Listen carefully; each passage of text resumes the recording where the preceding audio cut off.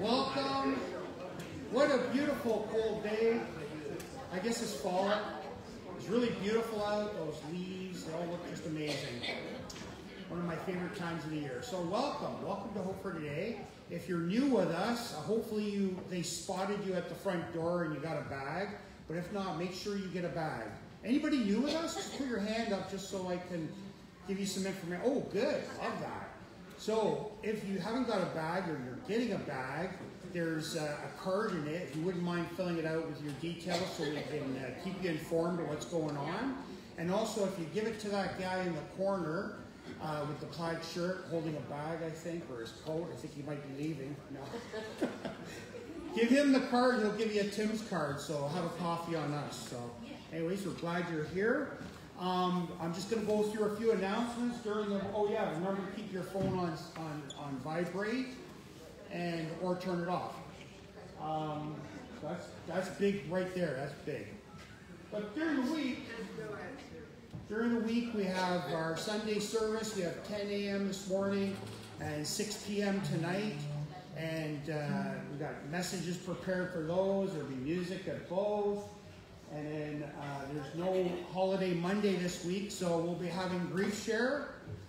And uh, that's upstairs. And then the New Believers Bible study downstairs.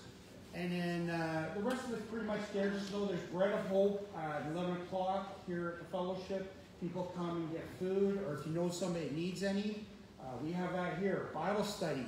Come out to Bible study. We're having a really good time interacting learning God's Word together. So you need to be here Wednesday night. Halfway through the week, what do I do? Come to Hope for Today. Uh, that's what we do. Um, that's pretty much it. Except the only other thing is, um, as you know, we're having Halloween out there, but here we're going to be having Candy Fest. Has anybody here been to a Candy Fest? Okay, so you guys were volunteers when you came, probably, or you're dropping off your kids. But uh, we get rid of all these chairs. There's a bouncy castle. There's different things they do. They can come dressed up in a costume. It can't be something that's going to scare me. So um, keep them nice, like a Bible character. I don't know if pirates are accepted or not, but anyways, check with Alicia. She's in charge of Candy Fest. So we need A, we need you to bring in all the candies you have, or pick them up at the grocery store, and B, um, tell your neighbors, your neighbors, like, you know they got 20 kids or whatever, um, tell them to come out here. Like you tell the kid it's Candy Fest, it's got the word candy in it, um, they'll want to be here. Good? I think that's everything for now. Let's open in prayer and we'll get singing. Dear Lord, we thank you for this day. We thank you that we can all get together and, and praise you and sing to you, Lord God. We just thank you so much for being with us in everything that we do. Uh, Lord, be in the message this morning. Open our hearts to receive what you have for us. And also be with the kids downstairs as they learn about you. Be with them and the teachers, and we just pray that they're blessed together. We ask this in Jesus' name. Amen. You guys can stand with us. We're going to sing about our faithful God.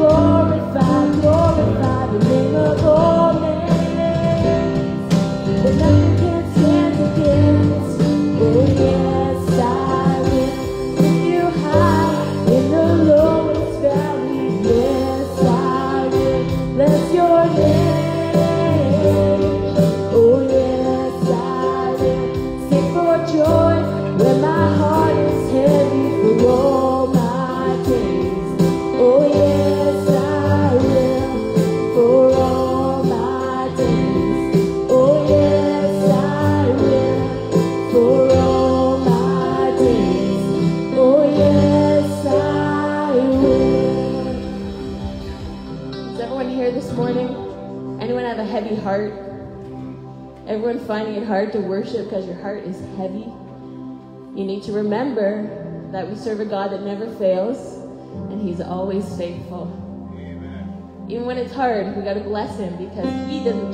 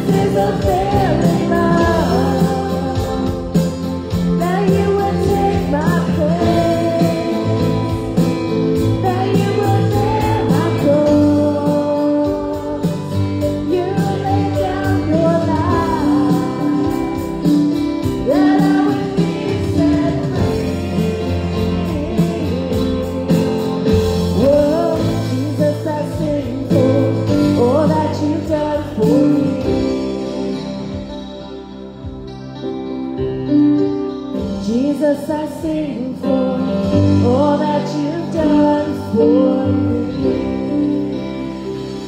Thank you, Jesus, that you took our place on the cross.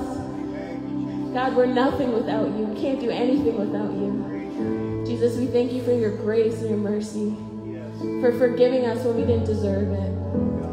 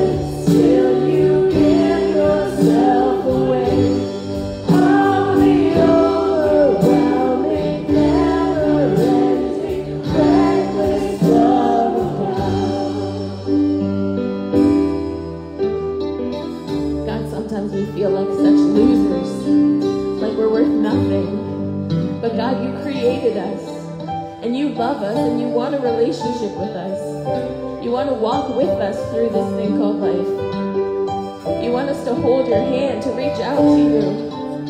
God, we need you. Would you fill us with purpose? Would you fill us with life? Would you fill us with peace and comfort and joy? God, I pray that we would feel worthy. We're only worthy because of you, God, not because of anything we can do. You make us worthy. You call us sons and daughters. God, we thank you. We love you. Speak to us now by your Holy Spirit. In Jesus' name. Amen. You may be seated.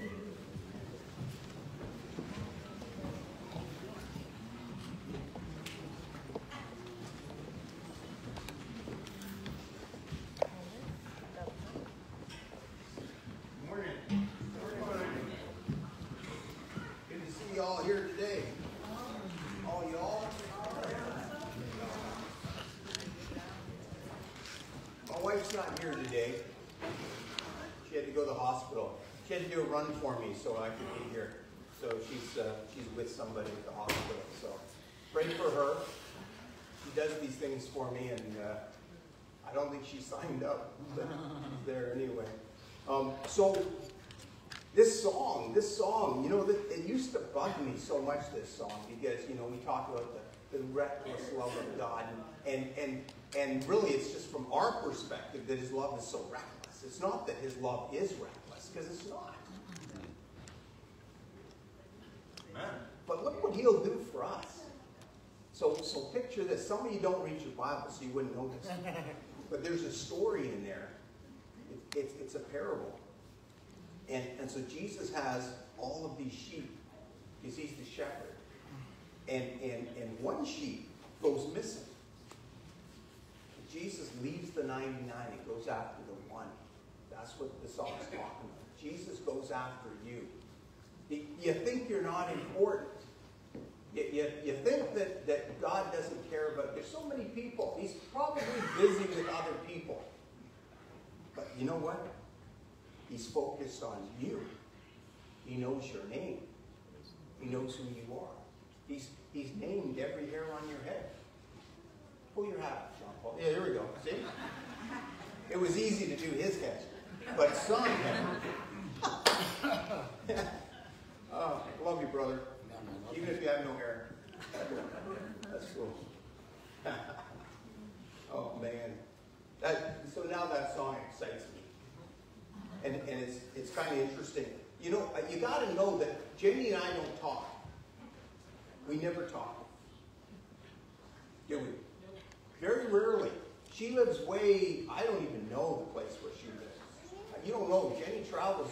It's Pottageville. Pottageville. You ever heard of Pottageville? Yeah, two people. So, and she travels all the way here. So we, we, we, never have time to chat. And, and, and we, don't, we don't text each other unless there's an emergency or something's going on. And, and, and so when you hear these songs that Jenny picked, and then you listen to the sermon and you go, wow, Jenny's songs are always like they go along with the sermon. But it's not because we called each other. It's because the Holy Spirit was telling her what songs to pick. And today we're going to talk about a personal relationship with God. And this is the God who would leave 99 and chase after that one because he wants none to perish. Hallelujah. Yeah, isn't that crazy? This week he picked mom. Elise who? Oh, my daughter. But we didn't talk either. I was away. We didn't talk. We didn't talk. By the way, we had my wife and I had a great rest. When we're when it's just the two of us, we have no stress and it's a, it's a whole other world, and it, it made me feel like uh, when it was over, I thought it would be nice if Jesus took me, right, Penny? Because it was like, uh, now I got to come back to reality. But uh, it's always good to get away, always good. Um, I, I want to talk for a second about, about Halloween, because it's coming up. And, and I was just downstairs looking at the list of all the kids that have signed up for Halloween we're going to have a special Halloween thing here, and we do it every year, and it's fantastic. Games and bouncy castles, and so much candy, it's ridiculous. And, and, and uh, we're doing that, and there's five kids signed up. Five kids. We got more workers than we have kids. Actually, we don't have enough workers either because all of the youth kids didn't want to sign up to help because they want to go out and fill their pillowcases with candy. Ridiculous. So we need more volunteers because what's going to happen now is we're going to have a lot more people signing up because I just made everyone feel guilty. no? Oh, okay. But anyway, um, Halloween, I'll give you a, a different perspective on Halloween that you probably haven't heard. And I'm going to tell you this perspective because there's a lot of truth to it. Um, I know my, when my kids were small, my wife and I weren't even following Jesus Christ. We weren't. We, I was 10, oh, my, my son was 10 when I got born again. So up until that time, man, every year, Halloween came, we didn't let them go out. We, we did a party in the house, and we would do cupcakes, and all the kids in the neighborhood would come over and they, they decorate, and they loved it. And we didn't want them to go out, so here I am, not born again, not following Jesus Christ but knowing that that night is evil. I, it, it's just, I, I thought, my, my daughter already had weird nightmares. She didn't need to be going out and seeing anything scary or spooky because she's just kind of freaky that way anyway. So, but, but, but we, right here. It wasn't like we were trying to shelter them, but we didn't want them to get involved in something that just, it, I, I, I don't know. Like, you guys think it appears even evil at all? the things that people do and the weirdness that goes on. And some people say, well, it's just good fun. Come on. Just good fun. Scaring the little kids can't, they can't sleep for two months, not just because of the candy. So, so we used to do this thing, and all the kids in the neighborhood loved coming over because, because it was different and, and, it, and, it, was, and it didn't scare them. But, but so we, we're doing this here. Um, The, the, the other perspective is this. Halloween is Satan's high night. It, it, it, I know. Oh, but we're not celebrating that. We're just going out and having fun. Yeah. I understand that. but it's Satan's high night. If you go to the SPCA the week before Halloween, do you know you can't get a black cat? No. They will not give you a black cat. Because people still do animal sacrifices the week of Halloween and Halloween night especially. It, it, you'll, you'll find in, in the newspaper, read the paper just after Halloween and see all the things that went on. And, and, and people go, well, the kids were just having fun. Yeah, little Peppy didn't think so. I don't know what you call it. Fluffy. Peppy. That's some kid with stockings. So, well, she didn't have fun either. But ask the police officer. Is there a police officer in here that someone can talk to afterwards? The, the, the vandalism that goes on Halloween night. And, and, and, and how about how about the children that go missing Halloween? Yeah, I know children go missing every day, but, but why is there more on Halloween night? But what, what about people just doing evil things, you know? And, and you hear, I, I remember when I was a kid, and people used to, oh, they put razor blades in apples. Well, I, I never got an apple with a razor blade in it. Probably because they didn't need to shave at the time, you know. But people used to do things, and they still do. They'll put pins and I know now. Now, well, I don't take apples. I only take the stuff that's in wrappers. Yeah. So it's, it's laced with fentanyl. Here, have a chocolate bar. I, I don't know what goes on, but this is Keswick. So we want to be careful. All those who are actually from Keswick didn't like that. They said he's lying through his tooth. Um,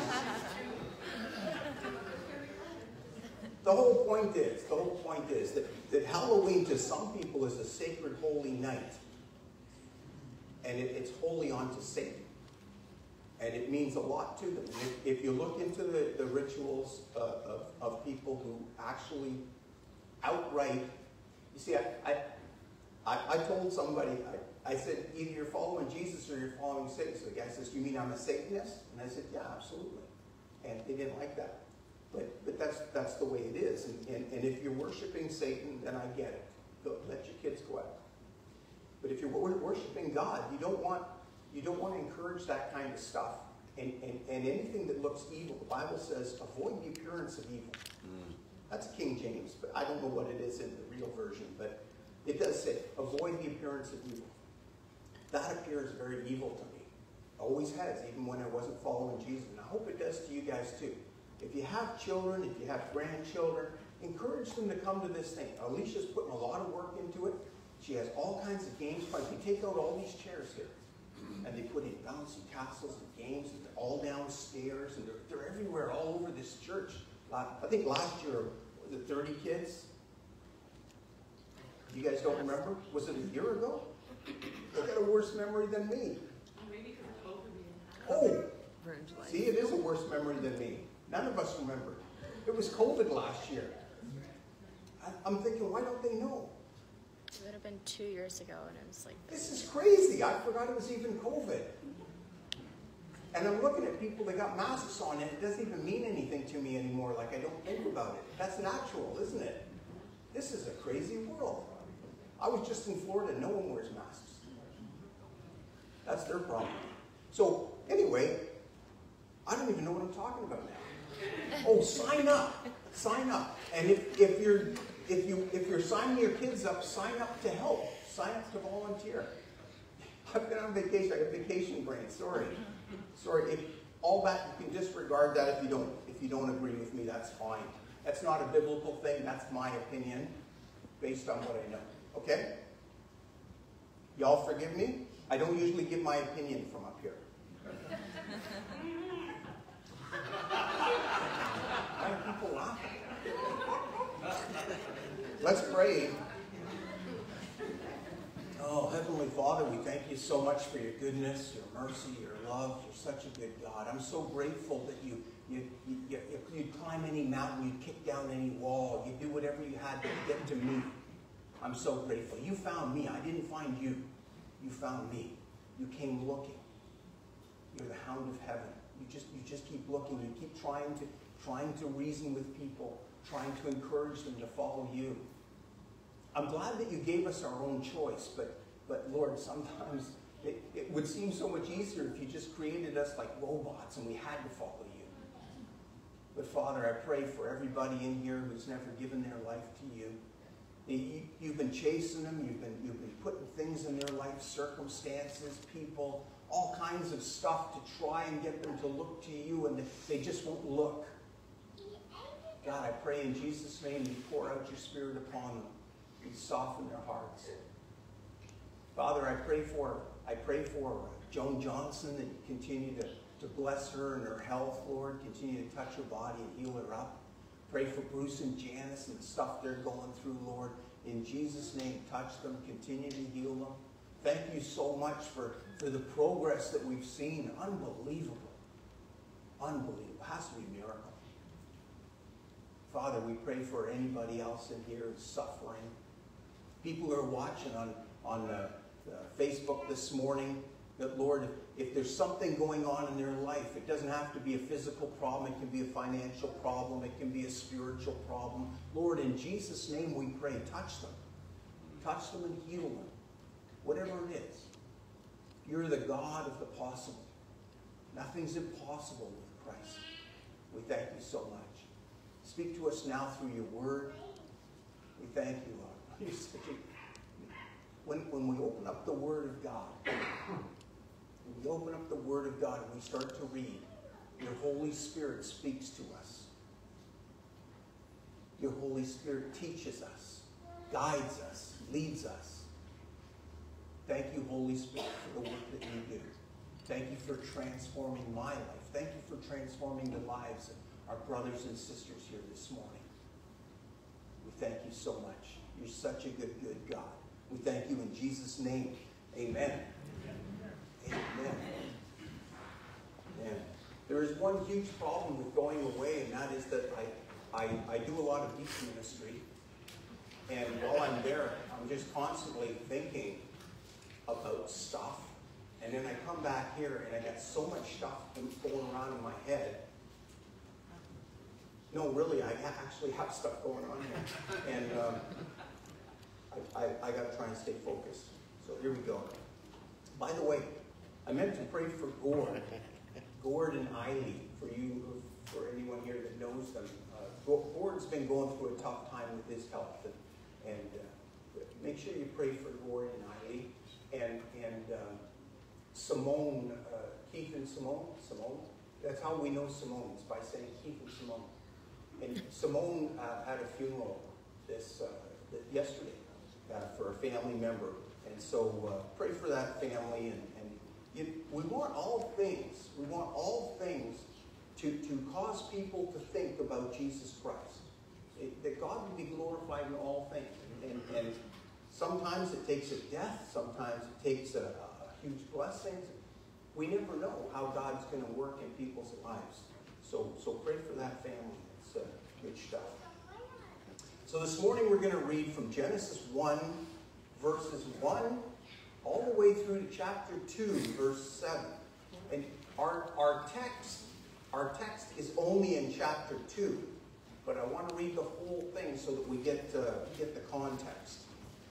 Okay? Genesis chapter 1, verse 1. In beginning, God created the heavens and the earth. The earth was without form and void, and darkness was over the deep and the Spirit of God was hovering over the face of the waters. And God said, Let there be light. And there was light. And God saw that the light was good. And God separated the light and the darkness. God called the light day, and the darkness he called night. And there was evening, and there was morning, and that was the first day. God said, Let there be an expanse in the midst of the waters, and let it separate the water from the waters. So there was, there was water all around the earth. Everything was water. And God said, let there be a space between the water that's on the earth and the water that's in the sky. That's the air you breathe. Pretty cool. We needed that. And God made the expanse. He separated the waters that were under the expanse from the waters that were above the expanse. and it was so. God called the expanse heaven. And there was evening and there was morning, and that was the second day. And God said, Let the waters under the heavens be gathered together into one place, and let the dry land appear. And it was so. And God called the dry land earth, and the waters that were gathered together he called seas. And God saw that it was good. And God said, Let the earth sprout vegetation, plants yielding seed, fruit trees bearing fruit in which is their seed, each according to its kind. And it was so. And the earth brought forth vegetation, plants yielding seed according to their own kind, trees bearing fruit in which is their seed, each according to its kind. And God saw that it was good. And there was evening and there was morning, and that was the third day. And God said, Let there be lights in the expanse, in that place between the waters. And this light is to separate the day and the night, and let them be signs for seasons and for days and for years. And let them be lights in the expanse of the heavens to give light upon the earth. And it was so. And God made the two great lights, the great light to rule the day, the lesser light to rule the night. And he made the stars. And God set them in the expanse of the heavens to give light on the earth, to rule over the day and over the night, and separate the light from the darkness. And God saw that it was good. Everything God makes is good. And there was evening and there was morning, and that was the fourth day. And God said, Let the waters swarm with swarms of living creatures, and let birds fly above the earth across the expanse of the heavens. So God created the great sea creatures and everything living on, oh, every living creature that moves, with which the waters swarm, according to their kinds, and every winged bird according to its kind. And God saw that it was good. And he created babies to talk really loud. and it was good. And God blessed them, saying, Be fruitful and multiply, and fill the waters in the seas, and let the birds multiply on the earth. And there was evening and there was morning. That was the fifth day. And God said, Let the earth bring forth living creatures according to their kinds, livestock and creeping things, beasts of the earth according to their kinds. And it was so. And God made the beasts of the earth according to their kinds, and livestock according to their kinds, and everything that creeps on the, on the ground according to its kind. And God saw that it was good. When you say, when you say kind, when, when he's talking about, so you got a dog, you got all kinds of dogs. You got wolves, you got foxes, you got all kinds of dogs. That's the, dog and its kind. You understand that, Mark? Okay? You got a bird, and, and you got all kinds of birds. It's a bird according to its kind.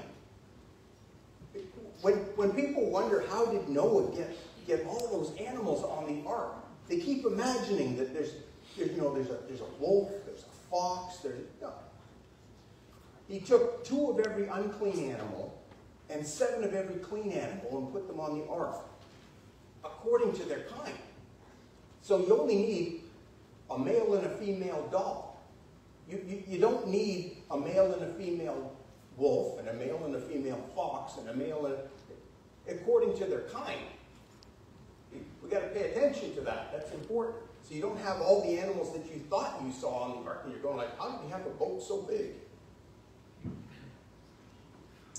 And God said, Behold, I have given you every plant yielding seed that is on the face of the earth, and every tree with seed in its fruit, you shall have them for food. And to every beast of the earth, and to every bird of the heavens, and to everything that creeps on the earth, everything that has breath of life, I have given every green plant for food. And it was so. I, I, think the world's trying to make us back to this place because everything that I get now, it says uh, plant-based. It's ridiculous. Do you know how much Adam wanted a burger? And God saw everything that he had made, and behold, it was very good. And there was evening, and there was morning, and that was the sixth day. Thus the heavens and the earth were finished, and all the hosts of them. Everything's set up now. Everything's set up for the man. And on the seventh day, God finished his work and, and, and the work that he had done, and he rested on the seventh day I missed a verse, didn't I? You missed four. I missed four verses? Yeah. That's like a whole paragraph. Were you all Skip- following? It You was skipped man. man with well, it's kind of an aside thing, man. Okay. Sorry, start at 20. I got excited. I wanted to get to the last day. Then God said, Let us make man in our image, after our likeness. This is not God saying, Let's make man in our image and, and referring to the angels that are with him. Because we're not created in the image of angels. This is God saying, Let's make man in our image. And he's talking to God the Son, God the Holy Spirit, God the Father, the three of them, saying, Let's make man in our image. That's why it's plural. And we are created in the image of God.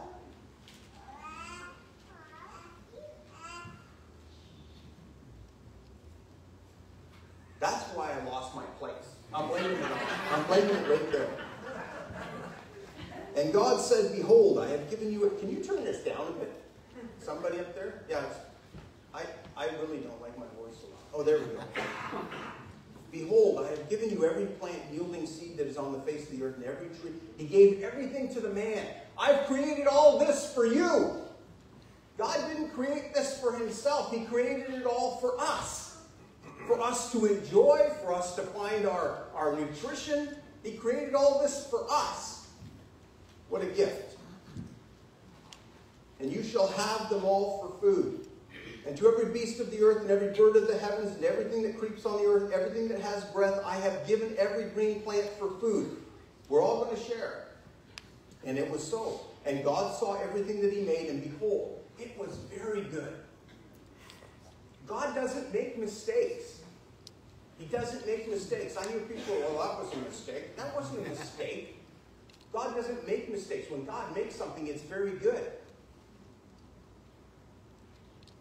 And there was evening and there was morning. That was the sixth day. And thus the heavens and the earth were finished and all the hosts of them.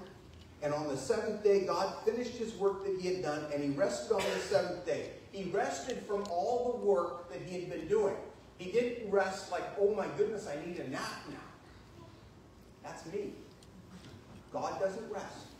When you call on God, he doesn't say, I'm resting right now. Could you come back later? He's always awake. So God blessed the seventh. He made it holy because on it God rested from all of his work that he had done in creation. These are the generations of the heavens and the earth when they were created. In the day that the Lord God made the earth and the heavens. When no bush of field was yet in the land, and no small plant of the field had yet sprung. Did I miss a page? No. So God blessed them. Oh yeah, yeah. So so here we're in that we're in chapter two now. And, and, and, and it seems like Moses is flashing back. But he goes, When no bush of the field was yet in the land, no small plant of the field had yet sprung up, for the Lord God had not caused it to rain on the land, and there was no man to work the ground. And a mist was going up from the land and was watering the whole face of the ground. That, that's, how, that's how everything was getting fed from a mist from the ground. It's like that dew you see in the morning. Right? But, but, but, or, or like springs. There, there's a mist coming up from the ground that's feeding everything. It says so, right? It hadn't rained. In fact, it doesn't rain on the earth until you get to the story of Noah and the ark. That's the first time it ever rains. So when God is talking to Noah, you got you got.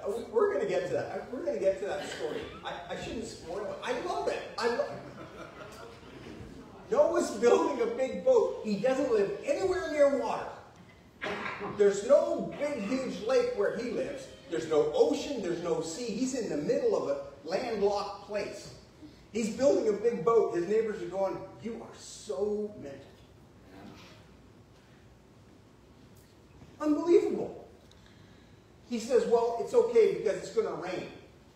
They've never seen rain. It hadn't rained up until that point. It had never rained. They're going, you're crazy. He's trusting God. Some of us who trust God, we appear a little crazy. And a mist was going from the land and was watering the whole of the ground. Then the Lord God formed the man from the dust of the ground and breathed into his nostrils the breath of life. And man became a living creature. That's so cool. So, so this is the only part, this is our text for the morning, is, is Genesis chapter 2. So, so it seems as though Moses is flashing back to Genesis, he's telling us about creation again, man, and then man's created the second time. No, this is still the first time. Moses is just taking a different perspective. It, it was on the sixth day of creation that God created the man, but now in Genesis 2, we start creation again. Why? Because this time, Moses wants to focus on relationship, God and his relationship with man. He doesn't want to do, Genesis chapter 1 was talking about how, how God relates uh, to, to the creation itself, to the heavens and the earth. And in, in Genesis chapter 2, he's talking about how God relates to man, how he relates to us. So it's a different perspective. So look at Genesis 1.27. So God created man in his own image. When God says man, our we, most of us speak very poor English. I'm sure we get it from our prime minister who thinks that mankind is people kind. Y'all don't even remember him saying that, do you? you? Be careful you remember what he said because otherwise you might vote for him again. I didn't say that out loud, did I? So God created the man in his own image. In the image of God, he created him. And, and so he's talking about mankind. Remember, he said, let us create them in our image, both male and female. When he says man, he's including woman. In fact, if you look at the word woman, it includes the word man. So in spite of the fact that we want to get away from gender specifics, you're never going to do it. You're never going to do it because it's written right into what the way that God created everything. There's woman, and woman means she was taken out of man. Well, how are you? She was taken out of they. No, she was taken out of man. She was made from the rib. She wasn't made like the man out of the dirt. We'll see that in the next chapter. So, but, but, but when God says he created man in his own image, he's talking about man and woman, male and female. In the image of God, he created him. I think, I really think they should put God in jail because he only refers to male and female genders. I think we should get a big court case going on that one. He created them both male and female. He didn't create them any other way. He created them male and female. And, and, and you'll see why in chapter 3. So both men and women are created in God's image. I heard a guy say, well, us men are created in God's image, but women aren't. Whoa, what Bible are you reading, man? We're both created in the image of God. We are equal. We're equal in status. It, it's a funny thing that, you know, now you hear stuff, and, and you hear all kinds of junk now, but, but you hear that you know, women want equality with men. We've heard it for a long time. And it's interesting to know that the whole, the whole suffragette, the whole, the whole woman's movement, the feminazi movement, it all began in the church. It's interesting to know. The Bible has always said men and women are equal. When what was happening here in North America, you know, what happens here in North America is usually wrong anyway, but we would send missionaries to other countries. We don't do that so much now. Other countries send missionaries here because we are the lost nation. But we used to send missionaries. In, in fact, my parents were missionaries and we lived in East Africa. And, and, and they would send us there. And, and so um, what was happening way back in the 1800s, women Women were allowed to teach, but only to teach other women. And, and some, some churches still have this problem, this North American problem. It's not a problem anywhere else in the world. So, so the missionaries would go over to, to, to Africa, India, anywhere, and, and, and there would be so much work to do. so much work that the man couldn't do it all. So he'd have the woman teaching Sunday school, teaching Bible study. She would be doing all kinds of stuff. She would be teaching men. And letters would be going back and forth. We didn't, we didn't have computers back then. Just to write letters. Some of you kids don't know what those are. A piece of paper. And you should have seen us at the airport. We're playing cards in, in the lounge. You know, we're in, we're in the stinking fast food court. We're playing cards and we don't have a pen to keep score because like my wife always likes to brag that she beat me. So, so we're looking for, try finding a pen. Try finding a pen. No one's got a pen anymore. Just Pastor Colin. He's always got a pen. It's so, you got a pen too. Good for you, Gary. You're really growing up. So, anyhow, they'd be writing letters back and forth, and, and the husband would be saying, oh, and Joyce is involved in, in teaching this men's, uh, she, I teach four, four, four, my dad used to do seven churches, this is going to be better. My dad used to do seven churches on a Sunday. We'd get in the Land Rover, we'd drive to this church, he'd do church. We'd drive to another church, another church, another church. Seven churches on a Sunday. I never listened to one sermon, by the way, but, but I was there. And, and, and he would do this, seven services. Well, there was more people that wanted him to come and do services in their villages, but he couldn't do them. So what, he, what they would do, my dad would go on the motorcycle. He'd go do his seven churches.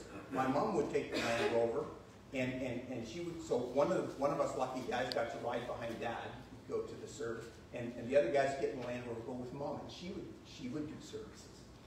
Because there wasn't enough manpower to do what was needed. So this is what was happening with missionaries in the 1800s, and they're writing letters back to North America, and the North Americans are going like, all the women are going like, hey, how come those women are allowed to teach men, but we're not? And look at the results. Look what's going on. Mm-hmm. So God can use women. And so this is actually where the women's movement started. Mm-hmm. Incredible, right? It was in the church. So, so man and woman have always been created equally according to the Word of God. We're created in the image of God, both of us. There's, there's nothing that a man has over a woman. In fact, a man has less uh, according to the Word of God. You read the Word of God and it looks like man is dirt. We were created out of the dirt. Woman was never created out of the dirt. And all the way from all the way from the beginning of the Bible, all the way to the end, woman is always special. She's special. She's, she's not subservient to the man. She's special. It's, it's really quite a feminist book. So there, I'm friends with all the ladies now, and the men. So this is this is the way Moses is, is, is, is reminding us of that personal relationship that God has with us. Because the man and the woman are created in the image of God. Nothing else. Nothing else in all of creation was created in his image. Nothing. Listen, I'm, I'm really sorry. But your pet was not created in the image of God. I'm really sorry. So I can't help you. But men and women are created in the image of God. Out of the dust, he formed us. It says that God created the plants, the animals, and man out of the dust.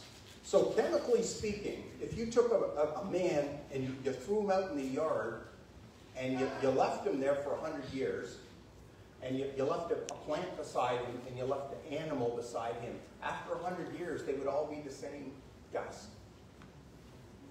So, so we would deteriorate the same as all these other things that were created by God from the dust. But man has a spirit. Man has a soul that's created to live eternally. So, so how does this look at the end of time? When Jesus Christ returns, so I'm going to look at it from the human perspective, okay? In, in, in, human perspective, we, we have time. God made time for us, not for him. He's not, he's not He's not under time at all. He sees past, present, future all at once. He has no time. He made that for us. We need time. We need to say, oh my goodness, Brian's been talking to me. I want to get out. You got to roast me out. Anyone got to roast me out? I'm really been craving roast. Um, so, so because there's no time, but we're gonna we're gonna look from our perspective. So when I die, my spirit goes to be with the Lord. The Bible says immediately in the presence of God. My spirit goes to be with the Lord. My body lays in the grave and deteriorates. It's going to become dust again. When Jesus returns, he's bringing back our spirits and our he's going to recreate our bodies out of the dirt and, and, and he can do it. He's done it before. It's not a big deal for God. And so he's going to recreate us and our, our spirits will once again be joined with our bodies. But this time in a glorified body, which means it will never die again. It will never deteriorate. It's, it's, there's no sickness, there's no sin, no sorrow, no suffering, no fear. Okay? Isn't that beautiful? So, so our bodies are dust, and they will return to the source from which they came, the same as the animals. But our spirits will live forever. Who we are will live forever, eternally. Either you're going to live eternally with eternal life with Christ, or you're going to live eternally in eternal destruction, the Bible says. You've got your choice. There's only two choices. Those are the choices. So, so you choose. But your soul will live forever. Will live forever. Okay? Animals don't have a spirit. Actually, I put a verse in here somewhere. First Peter, Second Peter. Oh, maybe that was something else I was thinking about. Yeah. There is a verse in Peter, and it says that, man, that animals think instinctively. They, they use instincts. When, when you open the door and, and, and Peppy is wagging his tail like, oh, oh, I love you, I love you, I love you. He's not really saying I love you. He's saying, oh, this is the lady who gives me snacks. That's, that's instinct. But everyone's devastated. They hate this. I'm sorry. You've never met my cats. Actually, I think I did. oh, man. But we're created with a spirit. When Jesus died on the cross, it says he died to take away the sin of the world. But he didn't mean creation. He didn't mean all the, all the creatures and the flowers and the plants. And he meant mankind. And it says that elsewhere in the Bible. So he died for us. But man, man is, we have a higher destiny than everything else God created. Nothing else did God say, I create this in my image. Just mankind. Men and women created in his image. Nothing else. Don't, don't ever let people try and trick you. The Bible says, let us create them in our image, both male and female. And this is the verse that he's talking about the creation of mankind. So Genesis 2, the, the writer moves us from that emotional level. Genesis 1 is an emotional level where we're seeing what God's creating, we're getting all excited about creation. And then, and then he moves us, uh, oh, he moves us in the emotional level, number two, sorry. Chapter 1 was the intellectual stage. It's where this is what God did, this is how he did it, this is what he wants us to know, that's it. Genesis 2 is like, let's talk about my relationship with mankind. That's what he wants to talk about. So Moses is zooming in on that right now. That's what we're doing. And, and in, in chapter 1, God was called Elohim. He was called Elohim. In chapter 2, God is called Yahweh. Elohim is the creative being, the creative God, the designer of all things. Yahweh is the personal name that God gives himself when he's, when he's talking about promise or he's, he's making covenant with mankind. When he's being personal with people. Yahweh. That's the difference. So you got the personal and you got the impersonal. But, but now Moses is focusing on that personal part. So this is the same God who makes who, who, who will make promises to each one of us. And he'll reveal himself in Jesus Christ. John 10, 28 to 30. I give them eternal life, and they will never perish. No one will snatch them out of my hand. My Father who has given them to me is greater than all, and no one is able to snatch them out of my Father's hand. I and the Father are one. There's a lot in there. Sorry, I probably should have not thrown that one in there, but I and the Father are one. Jesus Christ, God the Son, and God the Father are the same person. Two personalities, two separate personalities, but one God. If you, if you throw in uh, God the Holy Spirit, now you've got three separate personalities, but only one God. There's only one God. And why is that important? Because when we're talking about God wanting a personal relationship with you, some of you are going to say, wait a second, I was watching on TV and the guy said that Jesus is the one who wants a personal relationship, not the Holy Spirit. Not, yeah, they, they try to separate God that way. God wants to have a personal relationship with each one of us. God, God the Father, God the Son, and God the Holy Spirit. All three are involved in all things. They're not separate in that sense. They're separate personalities. They're gonna, they're, they're gonna, they're, well, that's another week. So God has gone from impersonal to personal. Many people don't realize that God created us for a personal relationship. A lot of people, especially if we come from Catholic backgrounds, God is up there. We are here. He created us and left us. He's up there. We worship Him up there. We worship Him in a church building. When we leave, He's still in the church building. But God wants to have a personal relationship with us. And he talks all through the Bible, he talks about dwelling with his people, dwelling in his people. And, and, and God, God doesn't want a big golden cathedral.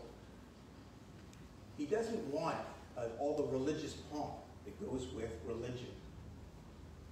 Whenever I'm talking to people, I'm talking to this guy on the beach, doing a little beach ministry, and he says, uh, he says, well, you know, I'm not a religious person. I said, that's great, I'm not either. He says, but you want to talk to me about Jesus? I said, yeah, but I don't want to talk about religion. I'm sick of religion. Religion causes wars and fights and famines and all kinds of disasters. I'm not interested in that. And he says, I don't get it. I said, yeah, most people don't. Religion is man trying to reach God.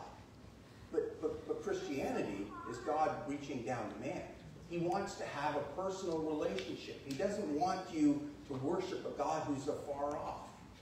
God dwells within. It. No longer do I dwell in buildings made by man's hands, but I dwell within man.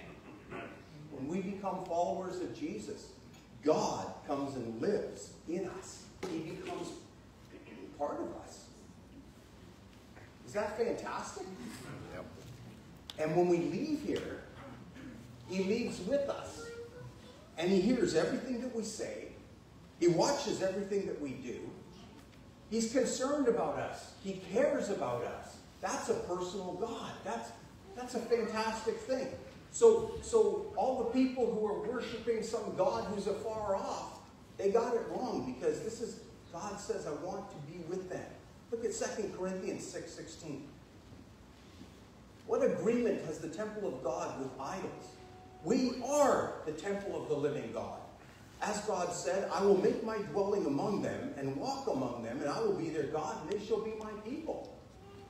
He wants to dwell with us. Nobody else. You won't find any other God who wants to dwell with his people. If you were, if you were Islamic, Allah is not dwelling with you. Allah is afar off. Our God came down to earth and became man, and he dwelt among us.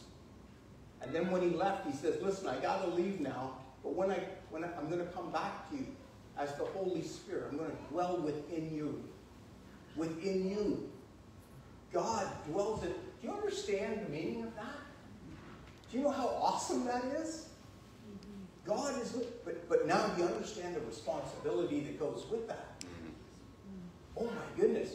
Everything that I'm looking at on the computer, he's watching it with me. Everything that I'm saying when I'm being nasty about people, he's listening. Everywhere I go, he's there. He knows where I'm going. It's a wonderful privilege to have God living in my life. But oh my goodness, if that doesn't strike a little fear in you too, you got to think that way. Always got to remember, God's watching, God's listening. He's there. It should transform your life. That's why God's called awesome. Mm-hmm. Everybody tell me, what does the word awesome mean? Fear inspiring. Fear inspiring. God inspires fear. And he does. I'm very careful. It's, it's, it's healthy fear. I'm careful about what I... Do, do you know why preachers used to wear those collars, those dog collars? They used to wear those because they would be careful about where they're going, what they're doing. If I had a collar on, I used to say, and I don't know if it even applies anymore, but, but if I had a collar on when I was a kid and I went into a, to a magazine store and I'm looking through all the dirty magazines, I'm going to think twice because everybody's going to know I'm a preacher. Do you know what I mean? If I go in like this, well, everyone knows me in town. But if I went to another town, do you know what I'm saying? You don't see a guy go in a strip joint with a collar on. But we should be thinking that way without the collar on. We're taking God into a strip joint. Do you think he really wants to be there? We've got to think about everything we do, everything we say. It's a huge responsibility. It's fear-inspiring, really. But he's an awesome God. He wants to have a relationship with us. Do you not know that you are God's temple and that God's Spirit dwells within you? You not know that? 1 John 4.15, whoever confesses that Jesus is the Son of God, God abides in him, and he in God. God abides in us, and we are one with him. Not that we become God, okay? Don't go crazy on me. 1 John 4.12, no one has ever seen God. If we love one another, God abides in us, and his love is perfected in us. He abides in us. He lives in us. Those of you who are followers of Jesus, God lives in you. He dwells in you. That's huge. My God isn't somewhere far off, and I'm not really sure what he's doing today. I don't know. Could you pray for me, brother? Well, I'm not sure. I don't know if God's going to be around today. I sure I'll pray for you. I happen to know he's right here, right now. He's dwelling in me. Oh, You know what that means? Everything I do in life is possible. Everything that I want to do in life is possible. Because everything's possible with God, and God's with me. God's in me. God's in me, giving me the strength and the power to do anything He asks me to do. Is that crazy? I can do all things through Christ who strengthens me. Well, how do you know? Well, He lives right inside me. How do you know your Bible's true? How do you know this Jesus is? You're telling me about Jesus. How do you know he's for real? Well, ask him yourself. He lives right inside me. I talked to him this morning. I know he's not dead. My goodness, this is fantastic. Everywhere we go, God is with us. Amen. Y'all know Depeche Mode, right? The band? They wrote a song called Personal Jesus. Johnny Cash recorded it as well, but it's Depeche Mode's song. You gotta give them credit. But they say everybody needs their own personal Jesus. We do. And it's possible.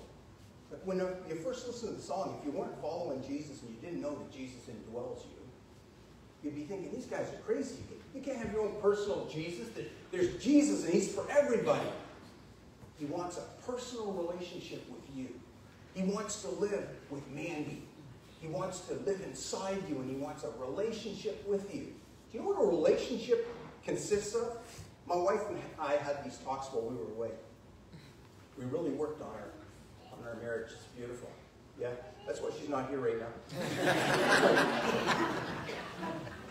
but, but, but we were we were talking about relationship.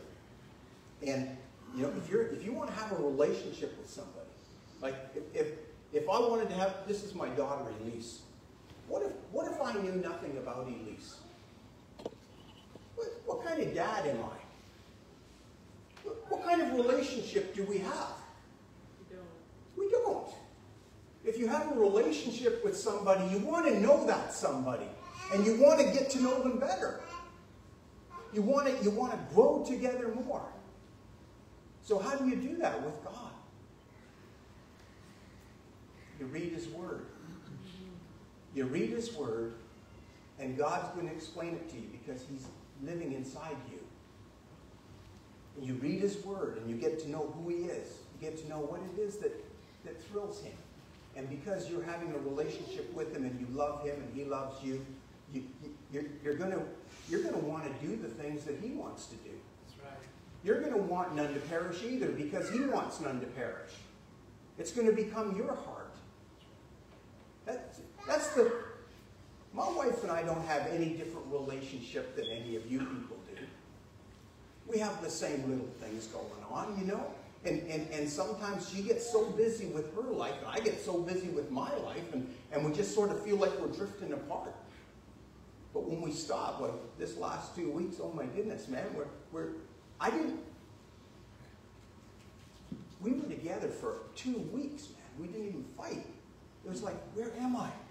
I got scared. But but but we got we got to, to there was no one else around, so there was no stress. There was we were both doing the same thing. I was interested in what she was doing, she was interested in what I was doing. We were learning about each other and growing. We've been together 47 years and we're still learning about each other. Mm-hmm. It's crazy. But you know, God and I, we've been together 30 years. We're still learning about each other. Mm-hmm. Well, he, he's probably not learning, but, but I'm learning about him. Mm-hmm. I'm, every time I open the Word of God, I, I learn something new about him. You can't stop reading the Word of God. You have to read the Word of God. You can't say, well, I listen to Joyce Meyer 16 times a week, so I should be good to go. You don't even know if she's lying to you. Got to read the Word of God. You're surrounded by non-truth. I'm, I'm talking to this other guy on the beach, and he says to me, he says, he says, well, you know, the Bible has contradictions in it. I said, like what? He says, well, look, in the Old Testament it says an eye for an eye, a tooth for a tooth. In the New Testament it says turn the other cheek. I go, well, you're a genius. Let me guess. You read that on the internet? He says, yeah. Poor guy. Yeah. Yeah. So I gave him a, I got him down on the sand. Yeah. No, good. That's how I do ministry.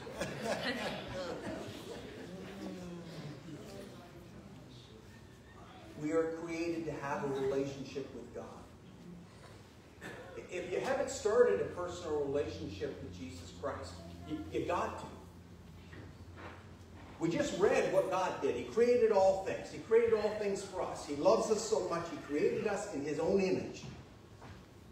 Would you want to know this God? And if, if the God who created all things, the God of the universe, wants to have a personal relationship with you, are you going to say no? What if, what if, what's the king's name?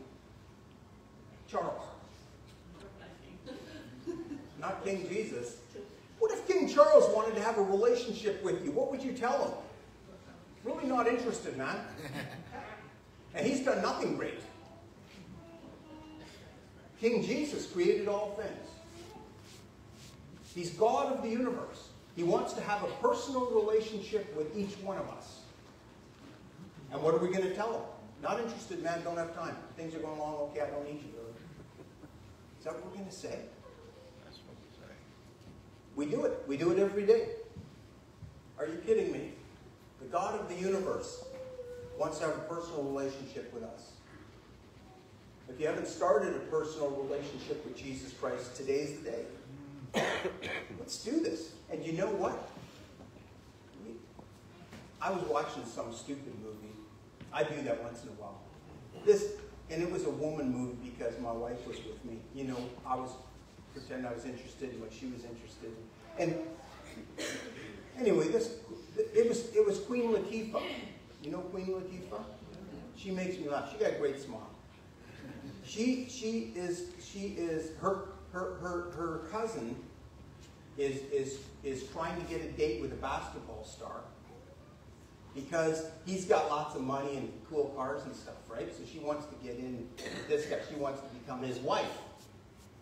Well, she's just all shallow and surface and stuff. But Queen Latifah is actually working with the guy because she's a physiotherapist and he's got his knee blew out, you know I'm talking about.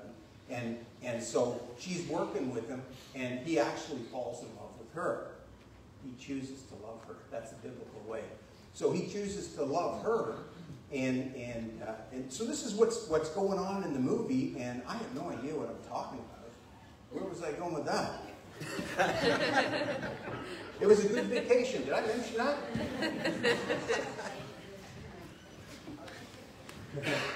Relationships need to be based on something. And he, she needed to get to know him, and the cousin didn't want to know him. She just wanted his money. And, and but, but you know, watching her get all excited about this basketball guy because he's a big star, everybody knows him, and he's got all this money and stuff. Here's, here's God.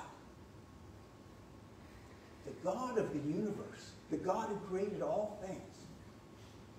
He wants a relationship with us. If, oh, if he had lots of money. Oh, he does. He owns the cattle on a thousand hills. How much is that in beef? That's a lot. Of, that's a lot of money. God does own a lot of stuff. Oh, he doesn't have a flashy car. How do you know? I'm not saying he does. Don't, ignore that one. the point is, the God of the universe, the creator of all things, wants to be personal. He wants to have a personal relationship with you. He doesn't want you worshiping him from afar. He wants to move in. You don't have to clean yourself up for him to move in. He will move in and then he will clean up. It's a beautiful thing. Let's pray. Heavenly Father, we thank you so much that you love us so much. You would leave the 99 to look for us. Mm-hmm. You care about us personally. Not as, not as a group, not as the population of the world. You care for each one of us personally.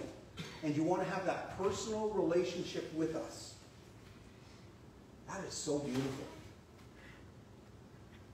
Father, I pray if there's anybody in this room this morning who does not have a personal relationship with Jesus Christ, I pray, oh God, soften their hearts, open their minds to understand what it is you're trying to do. Give them a desire to know the God who created all things, the God of the universe.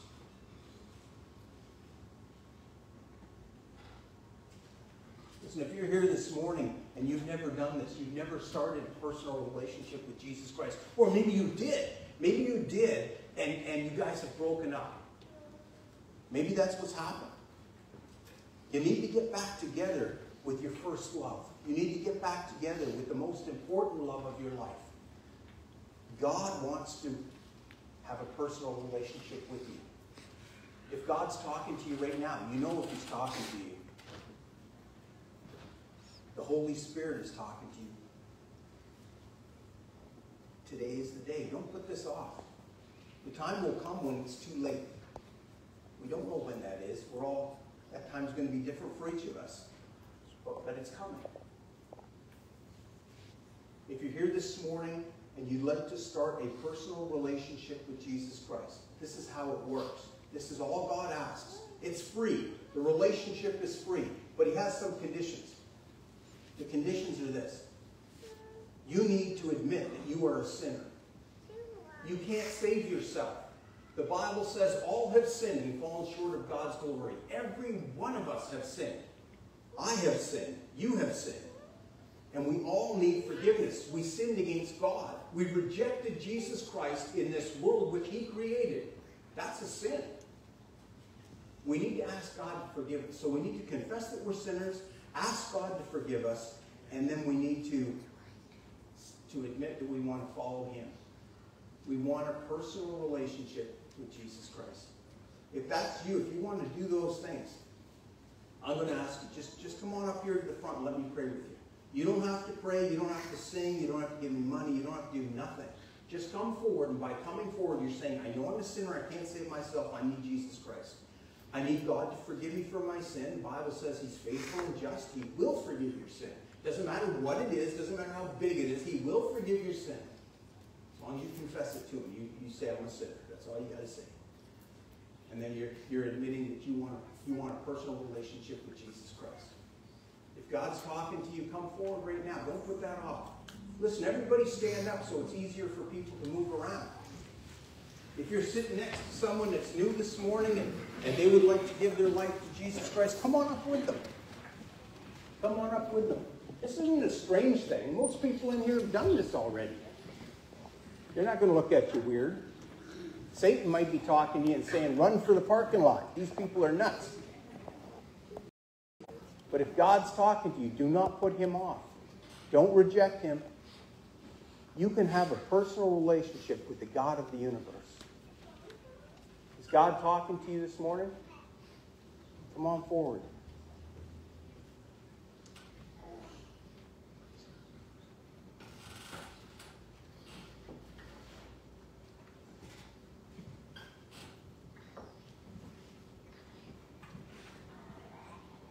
Hear the Holy Spirit convicting you? Saying, you know you're a sinner. You need forgiveness. You need to get your heart right with God. If that's you, come forward. I'll wait here all day. I don't care. It's the most important thing you'll ever do in your life. Here we go. There's someone listening to Jesus Christ right now. God bless you, man. What's your name?